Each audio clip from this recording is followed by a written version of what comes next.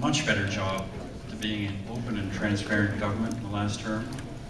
I also think transit is the number one issue, and the key there, obviously, is getting the all-day go into Unionville GO station and the various aspects of that. I think we also have to do some work uh, on the issue of car traffic as well, uh, ensuring uh, that people can move faster, more lanes, uh, left-hand turns, a whole bunch of other things we've been talking about.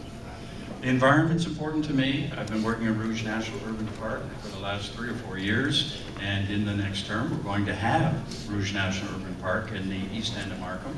About 20% of the uh, city will be in there.